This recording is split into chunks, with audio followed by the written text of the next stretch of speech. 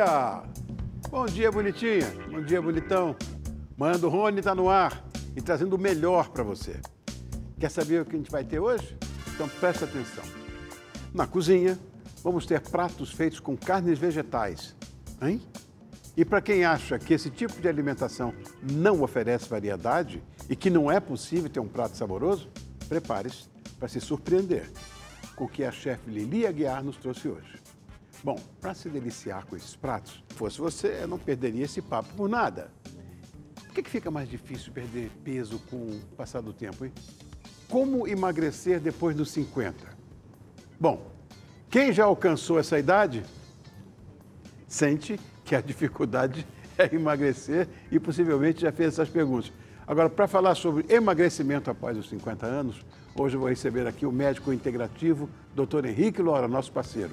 E hoje ele é a presença certa no nosso programa. O astrólogo Edu Escafão, que não só vai nos dar orientações para a semana, como também vai nos adiantar sobre a passagem do ano e sobre o que esperar de 2023. Bonitinha, bonitão, o programa está incrível. Vai ficar ainda melhor se você continuar aqui comigo. Vamos junto? Bom, e se eu falo para irmos juntos, é juntos mesmo. Ou seja, teve alguma dúvida durante o programa? Envie para o nosso WhatsApp o número é 11 99131 1594. 99131 1594. Eu te respondo aqui ao vivo. Ainda mando um beijo para você e um abraço apertado, que vai chegar onde você estiver. Fechado? Então tá. Bom, então vamos lá. Seja por compaixão com os animais, seja para buscar uma vida mais saudável, enfim, algumas pessoas optam por retirar a carne e outros derivados dos animais da alimentação. Quem é leigo no assunto, como eu, acha que uma comida com base em vegetais não oferece uma boa variedade. Ou então, não é tão saborosa. Disseram que é um ledo engano meu? E quem vai mostrar isso pra gente é aqui na nossa cozinha é a chefe Lili Aguiar, ao lado do Alex. Obrigado, Alex. Alex Almeida, obrigado, meu, meu amor. amor. Vocês vão me ensinar tudo a respeito disso, que eu não entendo absolutamente nada. Nada. Para começar, o que, que é essa história de alimentação vegana?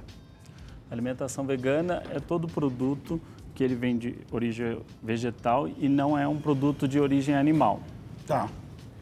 Isso é alimentação vegana, muito bem. Isso. E, e tem a flexitarianismo. O que, que é isso, flexitarianismo? O flexitarianismo, ele é a pessoa que reduziu o consumo de produtos de origem animal e tem aumentado o consumo de produtos plant-based e produtos à base dos vegetais. Tá. Bom, e o que são essas carnes plant-based? Olha o nome bonito. Plant-based. Plant-based. São os produtos à base de vegetais. Hoje, os nossos produtos são à base de grão de bico, soja e ervilha. Eu estou sabendo que os, os flexitarianos, é esse o nome certo não? Isso. Flexitarianos? Flexitarianos. E também o número de veganos tem aumentado muito. Você mesmo falou comigo antes do programa começar. O que, que você atribui? Você tem. Está crescendo tanto por quê?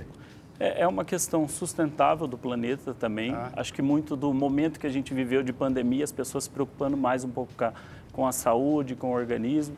E o, flexitariano ele vai aumentando a cada dia. Hoje já são 42% dos brasileiros são flexitarianos. Em algum dia ou outro consomem produtos à base dos vegetais. Eu perguntei para você em off é, se a carga proteica é a mesma, é, ou seja, as carnes veganas podem substituir a de origem animal em termos nutricionais? Sim, hoje os produtos são enriquecidos com vitamina B12, ferro, fonte de fibras e todos eles são ricos em proteínas. Isso falando da, da verdade, que são a linha que a gente está aqui hoje. Quais são as principais diferenças vai, das carnes veganas? Que eu sei que tem. Vocês que me falaram. Sim, sim. É, hoje a gente foca muito no produto plant-based da origem vegetal, só que porém trazendo um, uma qualidade nutricional nos produtos. Hoje os produtos da Verdade, ele, ele tem a mesma similaridade com a carne, eles têm os processos de extrusão úmida, que é o processo que a gente trabalha, que ele tem a mesma fibra, textura, sabor da carne. Interessante isso aí. Ele Isso é todo, vegetal, né? É vegetal. Ele tem, ó, o frango, ele também é a mesma, ó. Tá, olha. Ele tem a mesma fibra do frango de origem animal. Correto. Agora, se eu quiser te encontrar, você, Lili, o que, que eu faço? Eu é a, arroba VerdaliBR no é Instagram, é? Arroba VerdaliBR. Verdali. Verdali, com I no final, tá. BR. Ah, tá a Lili? Ali, Verdali BR, tá. Isso, correto. E a Lili? Eu tô por aí. Você não tem Instagram? Eu tenho, é chefe Lili Aguiar. Então, arroba, arroba chefe Lili Aguiar. Aguiar. A gente acha vocês assim. Bom, como é que surgiu essa, essa ideia de vocês focarem nesse mercado plant-based? A, a Verdalha, ela surgiu, um dos fundadores dela, ele vem do frigorífico de produtos de origem animal. Ok! e ele decidiu partir para o mercado de proteínas alternativas, inovando o, a, as carnes, os sabores. Hoje a gente tem desde mignon, tem frango, carne moída, os hambúrgueres, tem o, o, o mini sem frango também. A gente tem o steak, a carne moída, o bacon, a gente procura entregar todas as proteínas da refeição, seja almoço, jantar, lanche. Bom, é, é diferente o preparo dessas carnes? Não, o preparo é o mesmo hoje. Ele, ele é um produto que você refoga. Como eu mencionei anteriormente, ele é um produto que tem a mesma textura da carne. Então, o preparo é o mesmo, não altera nada. Hoje, ele é bem simples preparar azeite, refoga, é um produto pré-cozido já, então. O que, que, você está fazendo, Lili? Fazer um estrogonofe de mignon. Estrogonofe, um estrogonofe de mignon. de mignon. O preparo, sim, o preparo é praticamente igual. É a mesma é coisa? É a mesma coisa. É até mais rápido por, por conta de estar tá pré-cozido, né? Sim. Você não precisa... Porque a carne tem todo um preparo. Você tem que começar ah. a grelhar ela, ela solta água, tem que... Sim. Aqui não, ela já é bem Pouco mais rápido. tempero também que ele... Exatamente. Quer dizer, esse é o preparo especial, ou seja, nenhum. Nenhum. nenhum. É o mesmo, seguiu é. o mesmo processo do produto de origem animal. Bom, à minha frente, eu sou a sucólatra. Eu estou vendo aqui uma torta de chocolate, mas aqui não tem nada, é, é nada animal, tudo aqui é vegetal? Ou Sim. não? Então, eu fiz um, um, uma torta de chocolate à base vegana também. Mas por que Para poder vegetal? acompanhar. Hã? Mas cacau não é vegetal? Não, mas hoje no mercado a gente tem uma, uma, uma vastidão de, de ingredientes. Tanto leite quanto farinha, tudo na base de vegana. Aí como eu, porque assim, a gente, eu tinha que trazer uma entrada, prato principal e a sobremesa. Sim. Aí eu falei, vamos fazer a base de para combinar. Mas hoje no mercado você encontra vegano, quase todos os produtos são veganos, você encontra, consegue achar no mercado.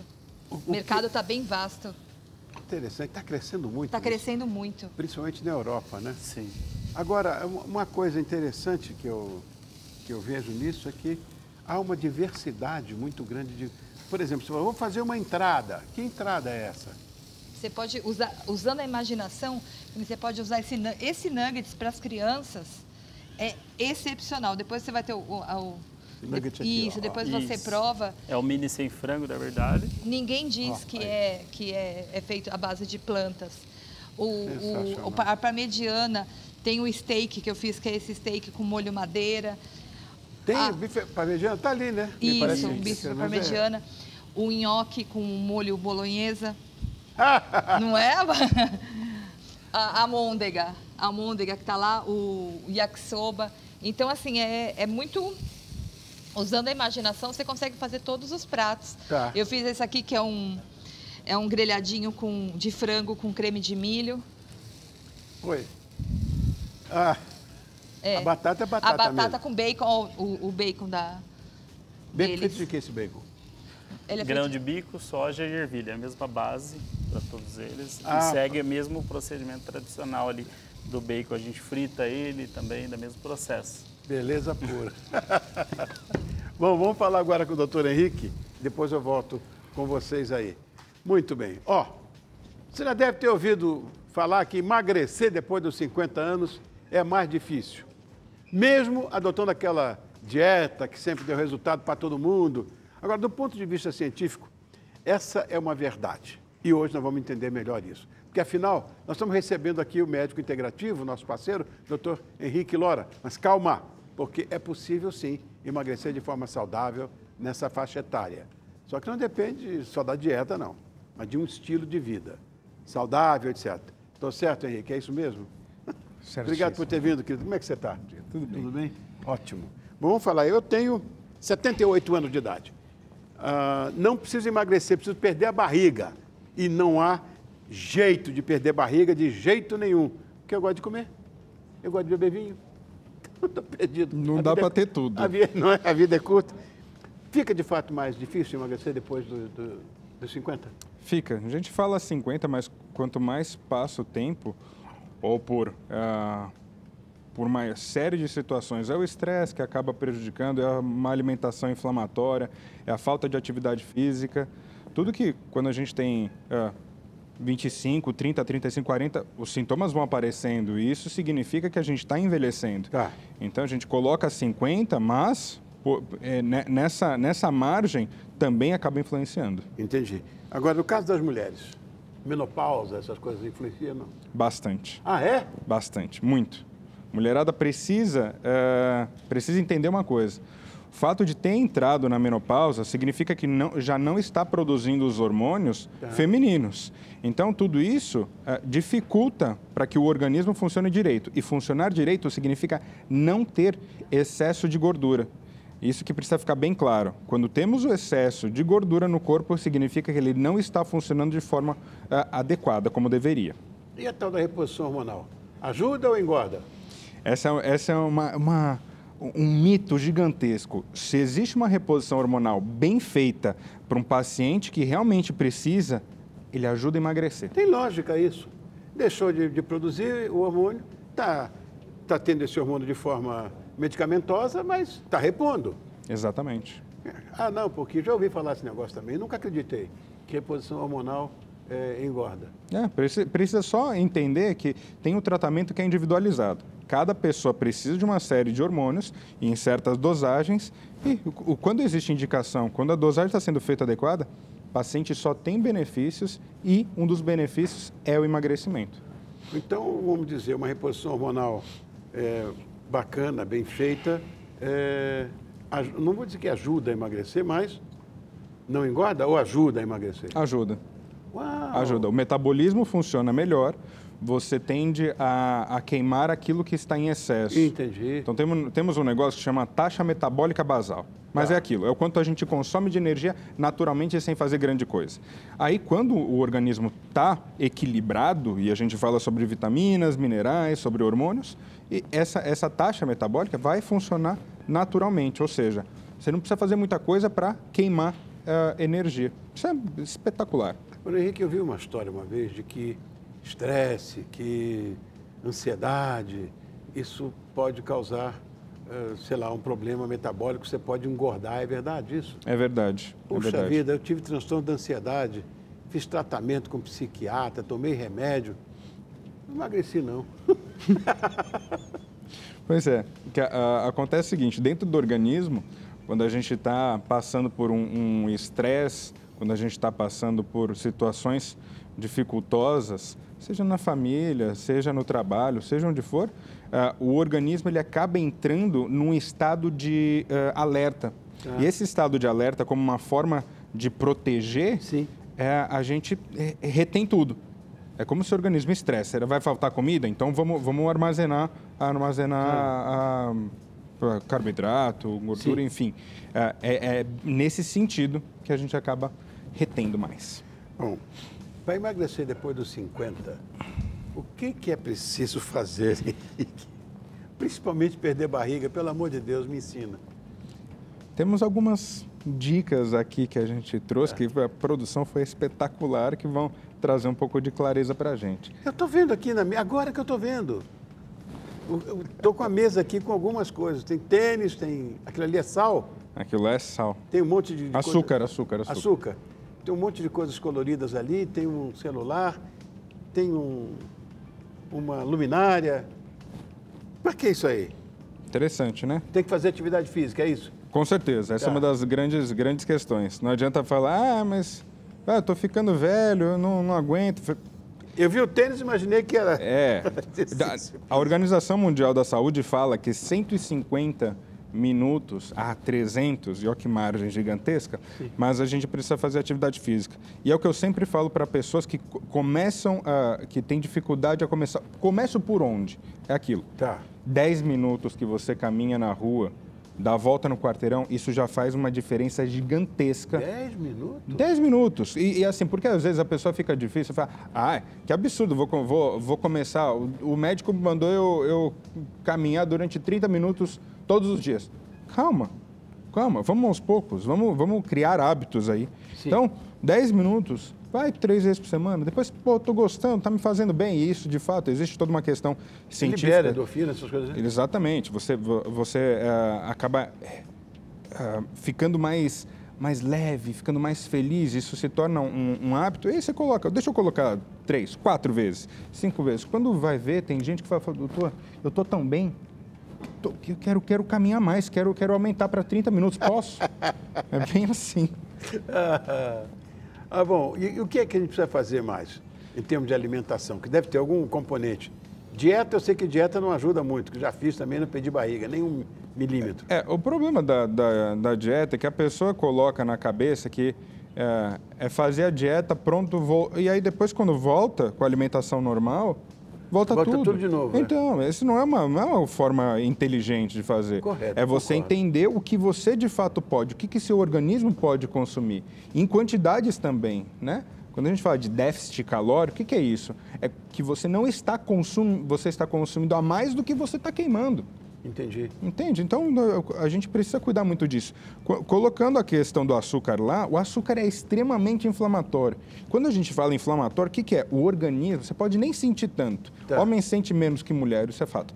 Ah, mas dentro do intestino, dentro das nossas células, está existindo uma, uma um, um, distúrbio gigantesco. Essa inflamação acaba reverberando em tudo, até na produção hormonal atrapalha sono, deixa mais estressado, tem retenção de líquido, principalmente mulheres. Então, isso, isso é um problema com muito... Açúcar. Com açúcar. Porque eu sei com açúcar. com sal, dizem que sal retém líquido também. Retém líquido também, mas o açúcar, quando, entendendo um pouco mais, quando entra o açúcar dentro do nosso organismo, a gente tem uma liberação de, uma, de um hormônio chamado insulina, tá. que é natural do corpo. E essa insulina, quando fica em muito excesso, acaba trazendo esse, esse, essa inflamação. Então é muito nocivo. O açúcar, assim, tem, que, tem trabalhos que mostram que, uh, que é neurotóxico também. Então prejudica muito a questão uh, das sinapses do, do, do, do cérebro. É, é, horrível, horroroso. Se as pessoas soubessem o quanto é ruim o, o açúcar, tirariam por completo da alimentação. Você diz o açúcar refinado. Não, mas assim, a maioria dos açúcares também. É difícil falar, ah, existe uma grande diferença com demerara, o açúcar mascavo. Mesma coisa. Ah, é, é, é, traz os malefícios, claro, em seu grau, mas são tão ruins. Interessante, é porque falam muito, né? Hoje em dia todo mundo se automedica, todo mundo é cientista, todo mundo é médico. Isso me incomoda muito. Até porque eu sou açucólatra, eu adoro açúcar, então... Se você está bem, Rony, se não tivesse açúcar, estaria melhor ainda. ah, não, eu gosto de doce, gosto de doce, gosto de salgado, eu gosto de tudo. Se você puser açúcar nesse pá de tênis, eu como. Estou falando sério, eu como, como, tudo, qualquer coisa. Eu estou vendo ali também uh, aquele monte de comprimidos ali, o que, que é? Comprimido? Vitaminas. Vi é preciso suplemento? Olha, é, é, muito importante, porque quando a gente está envelhecendo, uh, o intestino, que é um órgão espetacular, falam que é, é, é, o segundo cérebro, às vezes eu digo que é o primeiro. Tá. É o principal órgão para fazer a absorção dos nutrientes. Sim. Só que o que acontece? Vamos usar o exemplo da laranja. A laranja, para a gente consumir vitamina C, que é muito importante, vitamina C é maravilhoso. Para a gente consumir uma quantidade adequada de vitamina C na laranja, precisa a gente comer quatro laranjas, cinco laranjas. Muito mais. Então, digo, muito mais aí... Eu sou botânico. Muito mais. Bom, então, uma olha, dúzia. Olha só. Uma dúzia de laranjas para você conseguir com duas acerolas. Que a carga de, de, de vitamina C, de, de ácido ascórbico é absurda. E laranja, de fato, vai ter que chupar muita laranja. Vitamina C, a gente fala que em dosagens boas é que a gente tenha um, uh, um grama pela manhã, um grama à tarde. Tá. Aí a pessoa está escutando, nossa, então deixa eu ter, comer com cinco laranjas, seis laranjas. Não, não, não Porque o, a quantidade de açúcar, novamente, eu falo, ah, mas fruta tem açúcar? Frutose, tem açúcar. Frutose tem. Então tem que tomar muito cuidado com essa, com essa questão. Então, quando a gente fala dos, do, dos, das vitaminas, é extremamente importante. A gente vai envelhecendo, a gente tem uma capacidade menor de fazer absorção desses nutrientes. Então, é, é muito importante. Muito. A gente fala ali, é vitamina D, é, é ômega 3, é vitamina C, tem curcumina, quercetina, resveratrol, tem um monte Uau. de coisa muito importante. Para resveratrol eu tomo vinho. Mas precisa de 200 garrafas para para chegar no número certo. Para chegar. É, olha, é verdade, né? A alimentação é fundamental, sem dúvida alguma. Eu até concordo contigo no brinco e tudo, mas eu concordo contigo em todos esses assuntos. É que hoje em dia, por exemplo, existe uma produção monumental de, de suplementos vitamínicos. Tanto que nós aqui em televisão veiculamos muito essa história, né? De, de suplemento vitamínico, de, de, ômega 3, de tanta coisa, magnésio, tem um monte de coisa. Magnésio. É, e é importante isso mesmo, de fato. É, é muito importante. A gente fala sobre glutamina para alguns tá. pacientes, tá. que é importante. Ah, para o pessoal da, de. Nem precisa fazer atividade física para ter benefícios da própria creatina também. Então, tem muita coisa que é muito boa no, no mercado, só que a gente tem que tomar cuidado também de alguns tipos de, de, de cápsulas já prontas na, na farmácia. Porque às vezes tem dosagens tão baixas que na verdade a gente está rasgando dinheiro. Então, tá. isso é muito importante, a gente ter, ter ciência, porque vai lá, ah, eu vi na TV, o doutor falou, eu vou comprar, tu, vou comprar tudo aquilo. Calma, vamos com calma. Tem a individualidade de cada paciente, tem a necessidade de cada um, isso é importante. É o caso do ácido ascórbico que a gente parece que não absorve mais do que uma ou duas gramas por, por dia, e os caras tomam um tubo. É, por, não adianta exatamente, nada, né? não adianta. Em, em, eventualmente, em alguns casos que existem mais necessidade, então, por exemplo, está resfriado, está com algum tipo de, de infecção viral Sim. Ah, pontual, é interessante ter uma, uma dose um pouquinho maior. Mas mais que duas gramas não tem, não tem por refeição, não tem nenhuma Bom, necessidade. Antes de a gente responder o que está chegando de, de WhatsApps e e-mails ali, Uh, eu quero saber por que essa luminária e por que o, o celular. Não falamos nisso. Extremamente interessante a questão da luminária. Não entendi nada. A luminária, ela. Engorda? Presença. Quando a gente chega em casa, todas as luzes acesas por volta das 7, 8 horas da noite, tá. acaba interferindo diretamente diretamente na nossa produção natural de melatonina, que faz com que a gente tenha um sono, sono legal, adequado. E eu, minha esposa sabe, chega em casa às 7 horas da noite, eu quero desligar tudo de cima, quero luz baixa. Por quê? Luz que não afeta diretamente o olho, que não estimula a, a glândula pineal, e não faz com que ela produza a melatonina. Perfeito. Para todos nós, é importante que nós tenhamos, na parte da higienização do sono, tá. uh, essas luzes, diminuição de luzes. E a mesma coisa com o celular. Quando a gente fica lá com a telinha lá de ah, noite, tá. de noite por, até mais tarde, isso prejudica muito, porque é estímulo que você está que tá entrando e aí você não produz melatonina quanto você deveria. Entendi. E aí está então, tá totalmente relacionado com a questão uh, hormonal, com a questão do sono. E essa história da televisão? Porque para mim televisão funciona como um hipnótico. Eu acabo dormindo, fica lá a televisão ligada, aquele pessoal falando, eu estou dormindo. Mas também não é bom. Não é bom, porque você, tá, você acaba dormindo de cansado. De cansado, ah. você está exausto, hum, a mente está lá, você vai lá e, e dorme uh, enquanto na verdade não está sendo um sono, um sono natural, por assim dizer. Bom, mas não, mas não tem aqui uma, a Maria Amélia da Moca? Bom, Maria Amélia da Moca, ela como acelerar o metabolismo para emagrecer depois dos 50 anos? Aí, essa questão do metabolismo. Fazer reposição hormonal faz com que o metabolismo funcione de forma adequada. É, tem uma, tem um, um componentezinho muito interessante que chama mitocôndria.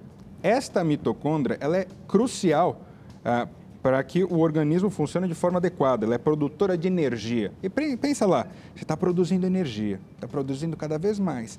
Quando você envelhece, essa produção diminui por falta de hormônio, pelo, pela questão inflamatória e tudo mais. Então, você tem que melhorar isso. E essa melhora é com tudo que a gente está falando aqui e pensa muito na reposição hormonal. Mas nós vamos para um break agora e a gente volta, nós dois aqui e você, naturalmente, para falar ainda mais sobre essa história de emagrecer depois dos 50. Eu tô, vou dizer uma coisa para você, eu estou perdido. Eu disse que era só uma aguinha, né? Então estamos aqui, doutor Henrique Lora, sobre os mitos e verdades do emagrecimento após 50 anos. Nós vamos continuar respondendo as perguntas do público.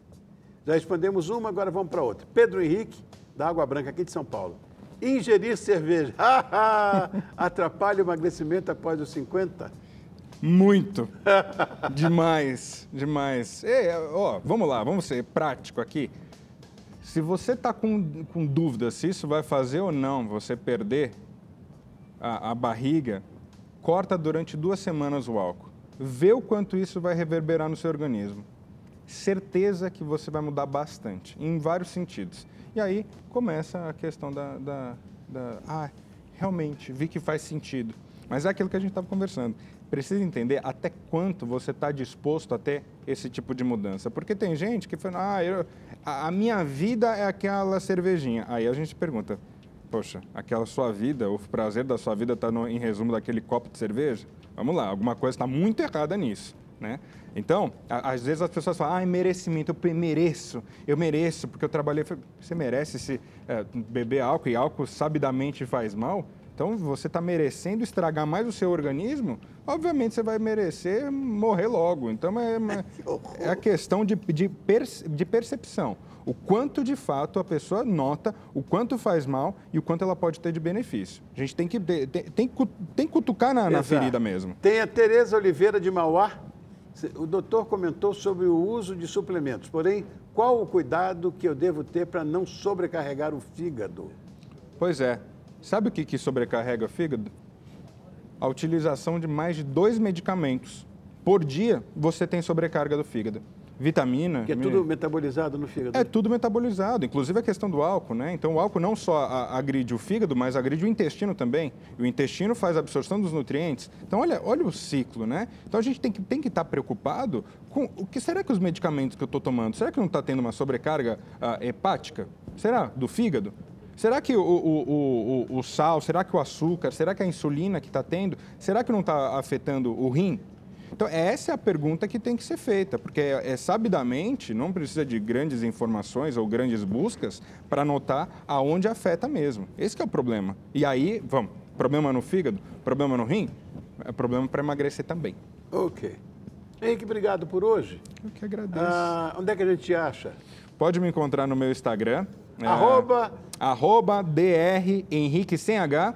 Henrique sem H. Lora. Arroba em doutor DR tá na tela. Henrique Lora. Está tá, tá na tela ali. Uma graça. Melhor impossível. Obrigado, Bom, querido. Obrigado. Beijão. Obrigado Bom eu. Dia. Vamos lá para nossa comida vegana. Alex, o que vocês estão consertando aí? Ali, ah, antes de qualquer coisa. E essas flores tão bonitinhas? Quem, quem mandou essas flores? O Rabelo? Ô, Rabelo, um beijo para você, querido. Ah, vamos agora receber, mais uma vez, é, alguém que vai nos orientar sobre a nossa semana. O nosso parceiro, o bonitão do astrólogo Edu Scafon, que vai também falar sobre o que podemos esperar dessa passagem é, de ano, né? O que, que vai acontecer em 2023, o que, que guarda para gente. Vamos saber tudo isso agora. Edu, você é, Tudo é, vou dizer uma querido. coisa. O negócio da, da Copa tá todo mundo falando, né? Você viu? Todo mundo falando. Puxa vida, ele falou, ele falou. Tá, ele falou mesmo e não deu certo, como você havia previsto. É, exatamente. Você disse que não ia ganhar. É, a gente falou que o Neymar ainda faria um gol, né? Teria foi. ainda, fez de fato, né? Mas não foi dessa vez, né? É, infelizmente, mas é, é, legal a gente ver né, como as coisas dão certo né, em relação à astrologia, que são tendências, né? É claro, muita coisa a gente pode mudar, mas pelo menos a gente consegue se preparar para as coisas melhor, né? Exatamente. Bom, vamos começar. Nós Bora. estamos entrando na reta final agora de, de 2022 e imaginando que vamos passar agora por uma passagem de ano e tal. Eu queria que você dissesse o que, que os astros uhum. dizem sobre essa passagem de ano. Primeiro. Certo. É, primeiro, assim, pela astrologia, gente, o ano começa só em março. Em março que é quando o Sol ingressa né, em Ares, que é o primeiro signo do zodíaco. Então a gente está no ano de Mercúrio, que é um astro ligado a comércio, a negócios, é um astro da comunicação. rapidez, comunicação. Por isso que passou muito rápido o ano, né? Porque Mercúrio é acender flecha, é muito rápido. Mas aí, quando o Sol ingressar em Ares, vai começar o ano da Lua. Aí a Lua favorece o quê? Assuntos ligados ao feminino, Então, quer montar um negócio para esse público? Tende a dar super certo.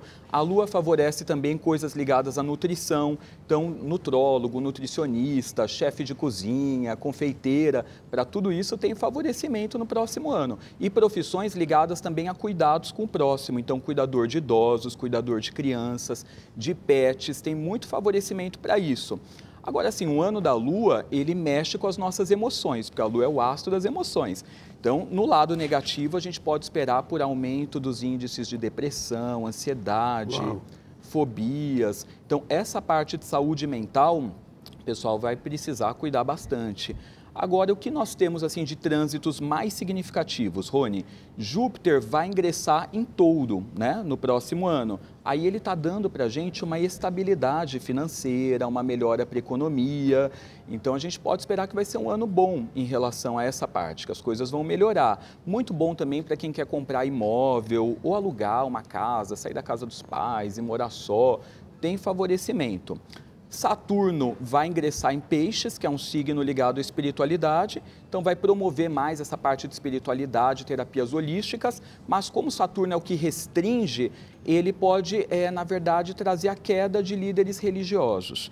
É, porque peixes tem a ver com religião, né? E Saturno muda, reforma, reinventa. Então pode ser questão de saúde, né? É, ou outros motivos, mas a tendência é que alguns líderes que são expoentes né, de religiões caiam no próximo ano. E aí o último aspecto que a gente tem que é bem significativo é Plutão, gente, ingressando em Aquário. E isso faz mais de 200 anos, né, que já aconteceu. E começa essa temporada agora que vai durar 20 anos. Então, Uau. é bastante tempo. Plutão, ele transforma coisas. E Aquário está ligado à tecnologia. Então, a gente vai ver um avanço agora nos próximos anos, que já começa nesse muito significativo. E o lado ruim é que Plutão em Aquário traz uma coisa que assim já é esperado, a questão de desastres naturais, né, tempestades, só que acontece com mais intensidade. Então, pessoas que moram em regiões que têm tornados, tsunamis, coisas do tipo, é bom ficar atento, se policiar, né, ver o que é possível fazer para se proteger, porque nesse ano tende a acontecer mais e Plutão também em Aquário tem a ver com coisas ligadas à eletricidade, que Aquário é o elétrico. Então a gente pode esperar por racionamento de energia, coisas do tipo tendem a acontecer, assim, as pessoas reavaliarem como estão lidando com energia elétrica, é um tema que vai estar em alta de novo. Bom, eu vou antecipar, porque eu sei que está todo mundo esperando, depois a gente volta. Vou uhum. antecipar essa história dos signos. Tô, Bora lá para essa semana. Vamos falar Vamos. Aí, que isso aí todo mundo está esperando. É, é engraçado verdade. essa história, né? Todo mundo quer saber o que vai acontecer com, com o meu signo nessa semana. Vamos Sim, lá. Vamos lá. Começando com Ares. Começando com Ares estarão mais focados esta semana, concentrados em tudo aquilo que eles precisam fazer.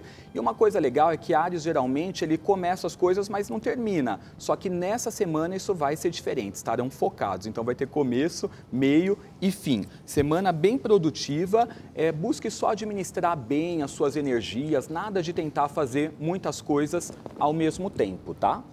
Uma carta do tarô para Ares, nove de paus que é uma carta ligada à finalização, né? Nove é o número do término. Então vão conseguir encerrar ciclos. Boa semana. Aí chegamos em touro, né? Taurinos precisam se policiar essa semana com a parte administrativa, finanças. A tendência é que eles façam um planejamento, mas acabe se boicotando em algum momento e aí eles vão ficar nervosos, né, quando isso acontecer, aquela sensação de auto boicote. Então se policie muito com essa parte das finanças, com essa parte material, para você não ter incômodo e cuidado com exageros, principalmente na parte de alimentação também, viu? Vamos tirar uma carta aqui para touro. Cinco de copas, que mostra até uma pessoa frustrada, gente, ó, com olhar triste, taças quebradas. Então toma cuidado para você não se frustrar por auto boicote, né, por não conseguir cumprir aquilo que você determinou para si, tá? Aí chegamos em Gêmeos. Geminianos tendem a ter uma boa semana, porque Mercúrio está trocando boas energias com Vênus. E Vênus é o astro das paqueras, gente. Até para revitalizar o amor vai ser bom. para dar um up, Rony. então, pessoal que está casado há muito tempo, né? É, fazer uma programação diferente, dar uma revitalizada. Quem está solteiro, está sozinho, é de gêmeos, foque nisso. Mas além da estabilidade emocional, Mercúrio e Vênus juntinhos favorecem a estabilidade material também. Coisa boa, boa né? Boa, lógico. Boa. Vamos ver uma carta para quem é de gêmeos. Olha só, sete de paus. Agora, essa é uma carta que fala um pouquinho de tensões internas. E a gente sabe que a mente geminiana, ela não para. Tem uma tendência e até ansiedade quem é de gêmeos, principalmente na lua cheia, que estamos agora, e no final do ano. Então, só fique atento com isso. Relaxe a mente, pegue leve consigo mesmo, tá? Agora o meu. Chegamos em câncer. Câncer tende a ter uma semana excelente. Oba, que bom. Muito boa, porque assim, a lua cheia, ela já aumenta a potência de energia dos cancerianos. E ela está no signo de leão. Então ela pega a energia leonina, que é uma energia de brilho, sucesso, reconhecimento, e ela direciona para câncer. Então, cancerianos tendem a se destacar bastante nos próximos dias. É, só precisam ficar atentos para não conferir uma carga emocional muito forte em torno dos acontecimentos. Isso até o meio da semana. Agora, do meio para o final dela, eles estarão incrivelmente práticos, lidando com tudo com uma praticidade sem tamanho. Beleza. Muito legal. Vamos ver uma carta para câncer. Olha o as de ouros. Essa é carta de renovação das energias, é uma carta favorável para recomeçar, para dar uma espairecida na mente, para você se reinventar. É uma carta bem empolgante aí, bem entusiasmante, tá? Para você que é de câncer, favorecendo renovação de energias. Aí chegamos nos leoninos. Você que é de leão, a lua passa pelo seu signo hoje, passa amanhã, aí deixa você um pouquinho mais sensível. É, fantasmas do passado também podem vir à mente, lembranças, recordações, você pode ficar mais emotivo. Então, para Leão, a semana é de alerta, até porque o Sol está formando um aspecto ruim com Netuno, e Netuno é o astro que põe um véu na nossa visão, dificultando a gente de enxergar a realidade. Então, leoninos, fiquem atentos com tudo, tá? Leia mil vezes é, um contrato antes de assinar, seja bem cuidadoso né, para que você não passe por isso aqui, que é o que a carta da torre está nos mostrando, que são quedas, abalos, né, problemas, mas lembre-se, é como falamos no começo, pode ser evitado, né? Claro. Tudo pode ser evitado se formos cuidadosos, tá, Leão? Aí falando com Virgem, para Virgem a semana vai ser muito boa, muito positiva. A Lua passa também pelo signo a partir de quarta-feira, deixa você um pouquinho mais sensível. Agora, o que acontece é que você vai estar tá mais assim, aquela característica humana estará realçada. Então, quem é de virgem vai se compadecer mais em relação às pessoas, vai querer ajudá-las mais, né, fazer aquilo que pode, mas a orientação para você, apesar dessa postura mais humana, cuidar de si mesmo também. É um bom período para o autocuidado, principalmente em relação à saúde, virgem. Uma carta do tarô para virginianos Pagem de Copas, tá? No conselho, ela pede para você por mais lazer, mais tranquilidade, né? Curtir mais, não ficar só lidando com problemas, problemas dos outros e do dia a dia. Então, relaxe. O virgem tem dificuldade de relaxar, virginiano. Normalmente é trabalho, trabalho, trabalho. Bom, falando com Libra, Semana muito boa para o aspecto profissional de caminhos abertos, viu, Libriano? Então aproveite, fique atento às oportunidades, não deixe passá-las. Ainda não é um período de resultado financeiro, mas isso vem depois, é certo. Então agarre as oportunidades que surgem para ti. Vamos pegar uma carta para Libra. Olha só, é incrível, né? Aqui temos um cavaleiro de ouros. Os cavalos representam movimento e ouros, material. Essa é a carta mais profissional que tem do tarô, falando que o trabalho estará cheio de oportunidades para você, viu, Libra? Desfrute. Beleza, hein? Bom, né? E aí chegamos em escorpião, que também está no momento positivo escorpianos tendem a ter auxílios inesperados das pessoas. Sabe aquela ajudinha né, que você não está contando e que faz toda a diferença? Pois é, escorpião, aproveite, a fase é muito boa e muito boa também para a parte espiritual. Então, você que é de escorpião, quando não souber como agir em relação a algo, clame né, aquilo que você acredita, peça a espiritualidade que te traga a resposta, que você pode sonhar, ter intuições ou inspiração de como agir. O mundo espiritual vai te trazer sinais, tá?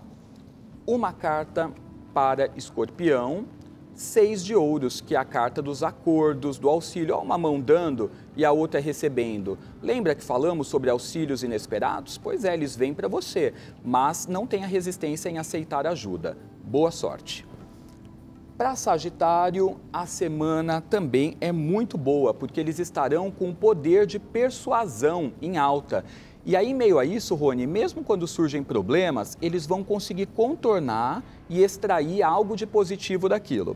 É aquela velha história de fazer é, uma limonada, né? Com limão, uma limonada. Então, você que é de Sagitário, aproveite, momentos difíceis se tornarão aí frutíferos para você de algum modo. E a sua persuasão que estará em alta te ajudando nesse sentido, tá? Carta do tarô para você de conselho, cinco de espadas falando vai à luta, né? Busque o que você deseja e precisa é, nessa última semana frutífera do ano pela astrologia, né, produtiva, que é a semana de lua cheia. Depois começa a minguar a lua na sexta-feira e aí a gente já vai diminuindo o ritmo naturalmente, tá? E aí chegamos em Capricórnio. Para eles, a mensagem é para olhar um pouco mais para si tirar um pouco o olhar dos grupos, das pessoas, das necessidades coletivas, familiares, eu sei que são importantes, mas busque olhar um pouco mais para você nesse momento, para você fechar o ano com aquela sensação de que resolveu, conquistou coisas, colocou tudo, deixou tudo em ordem, tá? Então, foque mais em você. Uma carta para Capricórnio, a carta do Sol, ó pedindo no conselho para você, capricorniano, buscar o sucesso que você deseja. É uma carta que ela é, é, muito positiva, Rony, quando vem. Então foca no seu sucesso que as coisas vão dar certo para você, tá? E chegamos em Aquário. Aquarianos serão abençoados com aspecto astrológico essa semana que se dá entre Mercúrio e Urano. Eles são regidos por Urano. Os dois astros são muito inteligentes, então vai fazer com que Aquariano tenha umas iluminações na mente, uns insights para poder fazer a escolha certa, para saber como lidar com os problemas e para conseguir aquela luz no fim do túnel. Então, semana de soluções para você que é de Aquário, de boas ideias e de muita criatividade, tá? Agora precisa tomar cuidado para não se sobrecarregar Cuidado, ou a pessoa carregando um peso aqui nas costas, tá? Toma cuidado, porque é uma semana que você vai querer fazer tudo e mais um pouco, tá? Então pegue leve consigo mesmo. E chegamos em peixes. Piscianos também estão numa boa semana, tá? É, mas a dica é eles se engajarem com algo ligado é, a questões solidárias agora no final do ano, sabe? Aqueles natais solidários, né, que é, é, promovem aqueles almoços, coisas para a criançada, né? Adote uma criança ali para dar uma roupinha, algo do tipo tudo isso vai embalar o seu coração, porque você é muito ligado à caridade, amor incondicional, amor ao próximo, né? Você é, precisa disso. E nessa época, principalmente, vai ser muito especial. Agora, na vida profissional, as coisas acontecem positivamente para você. Aproveite, peixes. E aí, um conselho para piscianos, até o símbolo do signo deles aqui na carta do oito de copas, tá? Então, essa é uma carta que pede para você ouvir a sua voz interior e fazer coisas que fazem bem à sua alma. Du, obrigado, querido. Eu que agradeço, foi é. ótimo. Onde é que a gente encontra? No arroba EduScarfon, gente, lá no Instagram tem várias dicas, só acompanhar lá. Qual é a cor para usar na passagem do ano, hein? Que ou prata, que é a cor da lua, ou branco, são cores boas. E para quem quiser energia de negócios, amarelo por causa de Mercúrio, que rege os primeiros meses. São as três cores melhores, gente. Beleza! Ó, você sabe quem é que vem conversar comigo hoje? A bonitinha da Mila Christie, logo depois do intervalo. Espero por você? Vou esperar. Bom, estou de volta aqui sem perder o que a chefe Lilia Guerra está aprontando aqui na cozinha, né? Bom, eu Olha só, está fazendo strogonoff, imagina, vegano, é, mignon, né? Olha que coisa maluca isso aí. Gente, eu nunca comi, eu vou ter que provar hoje. Né? E se você estiver curioso também, você pode entrar na rede social que ela vai nos falar agora, que é o qual é o Instagram, que você falou antes, Lili? Tem o, o meu, que é a chefe Lili Aguiar, que eu tenho várias receitas da, deles também e tem o, o seu da verdade. Da verdade. Da verdade. O seu Verdade BR. É, tá aí. É só aparelho já tá. Ah, Olha que lindo. Já Verdade apareceu. BR. Bom, agora tem perguntas que foram feitas para vocês aqui. Por exemplo, o Rodolfo Moraes, do Curuvi, ele disse o seguinte, eu vi aí no programa bacon feito de ervilha. O que vocês fazem para o gosto ficar igual? É isso aqui? É, ele tem o processo de extrusão, né, que faz é, um pré-cozimento e o sabor ele vem do aroma natural. É, são Que aroma natural é esse? extraído de planta, ele vai tirando a essência e desenvolve o aroma próximo do bacon mesmo. Tá. Então, Vamos para outra? Marcela Santana, de São Caetano. Qual é o tempo de preparo desse nugget de frango? Cadê aí- o nugget? Tava aqui, tá aqui, ó. O nugget Aqui, tá ó. aqui, ó. Você pode fazer ele grelhado, pode fazer na, naquela panela elétrica e pode fazer frito. Eu aconselho fazer grelhado. Grelhado, você põe um fiozinho de azeite. Se você tiver uma panela antiaderente, é só pôr na panela três minutos. Legal. Três minutos minutinhos cada só. lado. Vai. Vamos para Alice Vilas Boas, Barra da Tijuca, Rio de Janeiro. Usa alguma essência para ter o cheiro ou o gosto da carne? os aromas, o- o- os aromas naturais, ele já puxa o sabor Como é e que o é esse cheiro. aroma natural? Você- isso vem em vidro, vem em É, pote? são empresas de aromas que desenvolvem o sabor do aroma baseado com cada tipo de proteína. Tá. E o que seria a instrução que você falou? Vi? Oi? Extrusão úmida. É. É. o processo de extrusão úmida que é o que dá a textura da carne. É um processo a 170 graus que ele não queima nenhuma proteína, nenhuma, nenhum valor nutricional do produto. Então, ele mantém todas as proteínas íntegras. Extrusão. Quem está em casa deve entender isso como? Ah, um processo a 170 graus que ele, ele vai colocando é, todos os ingredientes e no final ele, ele aquece para gerar essa extrusão do produto. Temos a Solange Froz de Curitiba. Posso congelar comida preparada? Sim, mesmo processo da carne. Preparou, congelou e mantém ali validade hoje congelado depois do preparo. Média seis meses dá para. Seis meses? Seis meses. Ó. Hoje a validade dos produtos são o shelf life em 12 meses Uau. congelado. Bom, Eu tenho uma coisa a acrescentar, posso? pode, meu amor. Que não, não necessita o acréscimo de sal no preparo, que eu acho isso muito importante. Como assim? Você não botou sal aí? Não. Não precisa, porque e a carne tem baixo índice, ba- Isso, baixo de índice teor de sódio, e gordura. Mas ela já, ela já vem levemente salgadinha e é um salgado Sim, é, sim. saudável, né? Mas é salgado com o quê? Com sal? É aí, não, não, não. Não, É, não, do- dos próprios ingredientes, da, tanto do aroma quanto da, do, da ervilha, do próprio produto mesmo. Tá. Isso aqui o que, que é? Esse é mussarela comum. Não, Esse daqui é não é mussarela, nosso, foi é- só pra- é só para complementar. Só Ah, para tá. complementar os Tá, pratos tá. ali. A- Aqui a gente tem o mignon, a costelinha barbecue, aqui a costelinha também. Esse é o hambúrguer vegetal, o frango em tiras, a carne moída e o bacon. A única coisa que eu conheço aqui, que eu já comi muitas vezes, é a batata. É batata mesmo, né? Batata é Sim, batata sim. mesmo. Batata eu conheço. Isso aqui, cogumelo Paris, que eu amo perdidamente. Tomate. O resto eu não conheço nada, vocês vão me dizer. Sim. Ó, eu estou aqui recebendo a uma querida amiga que eu não vejo há muito tempo, mas que é uma mega ultra plus estrela. E por não é por coincidência. Essa nossa convidada, ela é vegetariana. Ela é atriz, ela é apresentadora, ela já foi modelo. É formada em balé clássico, em balé moderno, em sapateado, enfim. O que não falta essa bonitinha é talento, fora que ela é bonitinha mesmo.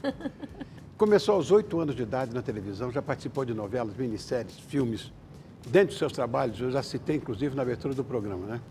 Que eu, Engraçadinha e Seus Amores e Seus Pecados, que eu acho sensacional. E a recente Verônica, né, das Aventuras de Poliana. E, bom, eu falei de todas as novelas que você fez, todas as séries, tudo. E, mas é dona de uma boa forma Uau! E de um sorriso encantador. É a bonitinha da Mila Christi que vai relembrar momentos da sua carreira e falar sobre a sua vida aqui hoje. Bem-vinda, meu amor, saudade de você. Não levante, fica aí, fica aí, por favor. Obrigada, querido, que Obrigado. carinho. Olha, Muito imagina, obrigada. toda de, de, olha, de esmeralda. Você é uma pedra preciosa, Mila, não tenha dúvida disso. Obrigada. muito prazer em te obrigada. receber, meu amor. Acordou cedo hoje, tudo, né? Bom, Acordei cedo e você sempre aula de cavalheirismo, não, meu gentileza. amor, não. Gentil... Todo mundo tem que ser gentil, não é possível. Você Estou é esquecendo a essa- gentileza, obrigado. mas você Amiga não vale. No Brasil, você é o exemplo da Oh, meu elegância. Deus, não, não. É, é sim. E é por isso que eu vim aqui. Obrigado, meu amor. Mila, eu falei com você em off que eu andei estudando sua vida para não falar muita bobagem aqui. Eu me espantei muito com uma coisa, que eu, não, honestamente, eu não sabia. Que você foi campeã olímpica paulista aos 10 Sim. anos de idade. Isso. Como campeã olímpica? De ginástica olímpica paulista, estadual por São Paulo. Com pelo 10 Clube aninhos? Pinheiros. Pelo Clube Pinheiros, porque eu concorri na categoria solo, é, tudo, trave, né, paralela, mas aí em solo eu fui campeã pelo Clube Pinheiros. Meu no Deus ano, acho que. Agora eu me lembro o ano, mas tá no livro do, do clube e tudo. Porque eu treinei muito tempo pelo, pelo Pinheiros com a Yumi, né? Que era professora. Sim, era conhecidíssima, né? Conhecidíssima, né? É, e na época foi, é, assim, um start né, na minha vida de atleta. Eu fui atleta mesmo. Aí depois que fui parando, né? E virei modelo. Mas eu acabei fazendo uma matéria até com a Daiane e a Daniela Hipólito, junto com a Yumi. Olha, Foi muito bacana, a gente eh, fizeram... Foi a Record que fez a matéria no, no, no, no- num programa de esporte. E aí elas tinham que dar uma nota para mim. Eu dava rodante estrela e depois eu dei uma nota para elas, elas fazendo a interpretação. Foi o, foi o máximo, uma boa ideia para fazer. sem dúvida. Agora, Mila, uma coisa que eu acho interessante é que você partiu, não sei se ao mesmo tempo, para balé. Tanto moderno como clássico, como sapateado, que eu amo. Eu adoro balé, o clássico, gosto também de sapateado, acho maravilhoso. Balé moderno tem várias interpretações, né? Mas, a troco, como é que a, a dança caiu na sua vida, já que você era uma atleta? Porque é, eu tinha uma classe que a minha mãe conhecia a Joyce, da Joyce Balé, que era Ah, muito... imagina! Mas isso, isso é da minha época. E era garoto. pertinho da minha casa, né? Tá. E aí foi lá que ela falou, você quer experimentar balé e tal? Eu sempre tive uma cultura na família de fazer esporte, atividade física. E aí, como eu tinha, eu comecei a ter lordose, né, com a ginástica olímpica, você fica Uau, com lordose. lordose, escoliose, escoliose. entorta todo. A minha mãe chegou e falou assim, depois disso, né, quando eu tinha uns 14, ela falou, olha, ou você agora vira profissional e esquece, ou você vai ser modelo, que é o que eu queria, né? Ser modelo, enfim, atriz. Mas aí você vai ter que dançar, porque tem que ser completa. Aí eu entrei na Joyce e comecei a fazer um pouco de cada coisa, experimentando. E foi quando nessa classe e é que me chamaram para fazer o especial do Roberto Carlos. Eu era uma, já Você estava... tinha oito aninhos de idade, já estudei isso. Você tinha oito aninhos de idade Oito, quando fez o em especial do 82. Roberto Carlos. É, eu Hoje tenho você já tem autógrafo 12. dele, no Colan tem autógrafo dele que está no quadro na minha casa. Hoje você já tem 12 anos de idade. Eu acho que já dá para guardar. É. Dá. Ai, ai, Mila, oito aninhos. Aí depois você partiu para a carreira de modelo mesmo, né? Foi que eu fui morar no Japão, direto. Eu comecei, Pode. fiz alguns trabalhos aqui. A minha primeira trabalho foi a capa da revista Carícia, com o Serginho Saraiva, Ó, fotógrafo maravilhoso. Aí depois eu já fui chamada para fazer o cast para ir para o Japão. E aí eu entrei numa agência lá, foi através da Ford Modas, porque eu sempre fui da Ford, naquela época. que é a maior de todas, né? Aí eu morei um ano no Japão. Como é que foi morar no Japão, gente? Maravilhoso. O Japão, um país que, para mim, o que eles mais ensinam é a compaixão. Olha, A compaixão é tudo para o japonês. fundamental no ser humano a compaixão. Exatamente, que é o amor ao próximo, que é você olhar mesmo para o outro, não só teoricamente se importar, né? Distante, você próximo, porque eu vi isso lá. Eu peguei três terremotos e um dos terremotos foi muito forte. E eu estava morando num bairro rico no Japão, em Akasaka. E eu saí desesperada na rua, achando que ia morrer. E eu vi pessoas assim daquele bairro na rua dando água da casa dela para as pessoas e me deram água. Me acolheram, entendeu? Me acalmaram. Isso é o Japão. Eles não olham para a classe social, eles olham para o ser humano. É compaixão. Eu senti isso na pele mesmo. Né? Eu acho que no mundo hoje, um planeta que a gente vive tão polarizado politicamente, ah, o que de falta Deus, é o amor mais. ao próximo. O que falta, Rony, o que falta é isso, é o amor ao próximo. O que falta são as, as valores, sabe, o respeito, sabe, você ter dentro do seu coração, você realmente se importar com, com valores humanos que fazem o ser humano ser melhor. Né? Acreditar em Deus, essa coisa toda está sumindo. Você não acha? Acho, Mila, inclusive é o seguinte, isso é uma visão minha pessoal também. Nós não aprendemos nada com as abelhas, com as formigas, não aprendemos nada com os cupins. Nós somos animais gregários. Nós fomos criados para vivermos em sociedade. Ninguém é autossuficiente. Somos todos interdependentes. Eu dependo de você, que você está aqui, você depende de mim, Lili depende também, e por aí vai. Nós somos todos servidos e servidores. Ninguém faz sucesso sozinho, ninguém é autossuficiente. E as pessoas se esquecem disso. Solidariedade, eu acho que é a coisa mais importante para o ser humano que você fala. Acabou de falar os isso. valores, humildade. Claro. Os valores. Se perdem, os valores estão se perdendo. Na nossa área hoje, Mila, as pessoas estão tendo síndrome de Deus. Outras, síndrome de professor de Deus. Podem tudo, querem tudo, não falam com o pobre, não carregam embrulho, não dão autógrafo, não fazem selfie. Pelo amor de Deus, arruma uma outra atividade, Exatamente. que essa você não tem vocação para ela. Eu acho que é por aí. Né? Pode ter até mesmo, talento. né? É lógico, eu, é bacana, porque você sabe uma curiosidade. Eu, come, eu, eu comecei a, a falar inglês muito cedo, meu pai era diplomata. Então eu tinha que falar outro idioma e tudo. Eu sei. Aí, de repente, eu precisava fazer uma aula de gramática. Eu tinha que estudar gramática, que eu só sabia falar. A primeira aula que eu tive foi sobre Japão. Ah, é? Coincidência. Olha que coincidência, nós estamos falando aqui. E que Olha, que você achou? Eu tinha 10 anos de idade. Ah, eh, the Japanese are the most eh, polite people of the world. O japonês é. É. o, é o povo mais educado, mais polido do mundo. E é verdade.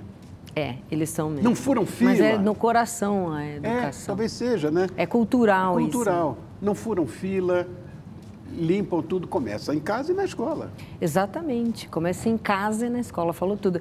Mas você sabe em casa, que... as dar um- crianças eh, agridem os pais e na escola batem nos professores. Aqui no Brasil é assim. A gente tem que voltar a conversar. Vamos, é só me chamar que que eu volto, Tá tudo bom. bem, não tem problema. Vou agradecer ao, ao Alex, vou agradecer a você, Lili, muito obrigado. O bolo tá uma coisa sensacional, Mila, você vai ver. Vou comer. E eu quero agradecer muito mais a você, Mila, por ter acordado cedo, porque eu sei que você dorme mais tarde, né? Não, Obrigado, foi maravilhoso. Eu acordaria às 5 horas da manhã para ouvir a sua elegância Ai, nesse do país, mostrando a humildade para as pessoas e falando do bem, do amor. E aí é isso, é Rosa do Carnaval, gente, aguardem. É, Rosa do Carnaval é o filme, Carnaval, Rosa é. do Carnaval. Obrigada. Beijo, meu amor. Beijo. Obrigada. Beijo pra você que está curtindo até agora. Amanhã a gente se vê, nove da manhã. Beijão.